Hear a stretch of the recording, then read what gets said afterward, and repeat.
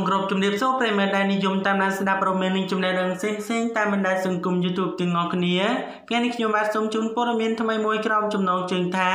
អបអសាទរកម្ពុជានឹងអាចនាំផ្លែស្វាយទៅកាន់ទីផ្សារកូរ៉េបាននៅខែធ្នូបាទខាងមុខនេះហើយបាទប្រិយមិត្តរបស់យើងលោកប្រកាសជាបានជ្រាបពាក់ព័ន្ធជាមួយនឹងការដាំស្វាយនានារបស់ប្រជាពលរដ្ឋកម្ពុជាយើងបាទនៅក្នុងពេលបច្ចុប្បន្នហាក់បីដូចជាមិនសូវបាទមានតម្លៃដោយសារតែបាទឈ្មោះភាគច្រើនទីងគឺមកពីប្រទេសថៃ នៅក្នុងនោះផងដែរបាទផ្លែស្វាយមួយចំនួនត្រូវបានលក់ដោយបង្ខំដោយសារតែបាទទីផ្សារគឺមិនសូវមាន ហើយក៏មិនសូវបាទមានតម្លៃចំពោះការទិញស្វាយនៅក្នុងស្រុកទៀតបាទមានតែបង្ខំលក់ឲ្យប្រទេសថៃបាទនៅក្នុងតម្លៃមួយ បាទមិនសូវថ្លៃហើយបាទពេលខ្លះក៏ចំណេញពេលខ្លះក៏ខាតដូចគ្នា ស្រាប់តែនៅពេលថ្មីថ្មីនេះបាទខាងក្រសួងពាក់ព័ន្ធនានាគាត់បាន បាទចុះកិច្ចព្រមព្រៀងបាទដើម្បីលក់ស្វាយទៅក្នុងប្រទេសកូរ៉េខាងត្បូងទៀតផងបាទដូច្នេះកុំឲ្យប្រិយមិត្តរបស់យើងរងចាំយូរសូមមេត្តាជួយ Subscribe និង Like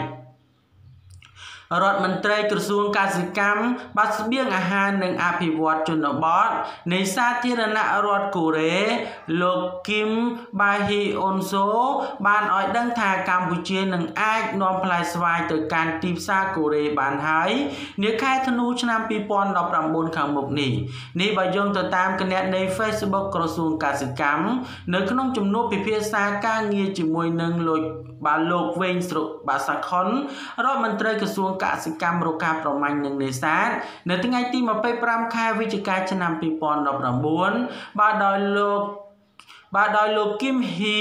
បាទអ៊ុនសូបានបញ្ជាក់ថាភាគីកូរ៉េបានអនុម័តរួចហើយនៅការអនុញ្ញាតឲ្យនាំចូលស្វាយពីកម្ពុជាមកកូរ៉េកាលពីថ្ងៃទី29ខែតុលា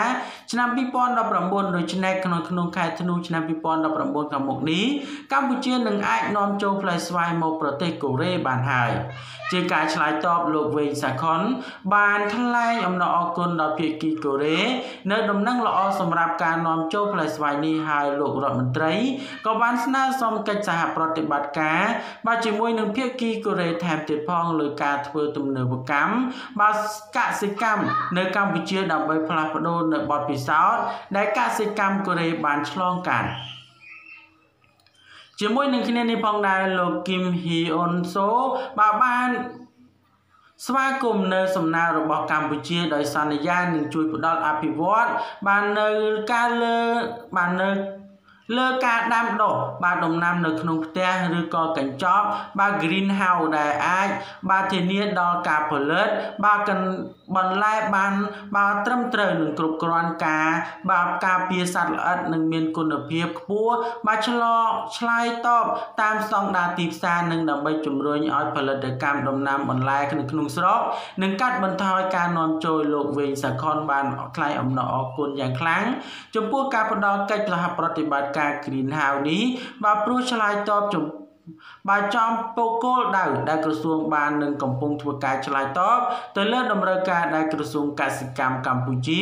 កំពុងតែយកចិត្តទុកដាក់ដើម្បីជួយលើកកម្ពស់បើកម្រិតជីវភាពរបស់កសិករឲ្យឆ្លើយតបតាមគោលនយោបាយជំរុញសេដ្ឋកិច្ចកម្ពុជាឲ្យក្លាយទៅជាប្រទេសដែលមានចំណូលមធ្យមកម្រិតខ្ពស់នៅក្នុងឆ្នាំ2030 បាទដូច្នេះព័ត៌មាននេះមានប៉ុណ្ណឹងដើម្បីទទួលបាននូវព័ត៌មានថ្មីថ្មីបន្ថែមទៀតសូម Subscribe និង Like ចំណែកខ្ញុំបាទសូមអរគុណនិងសូមគោរពលា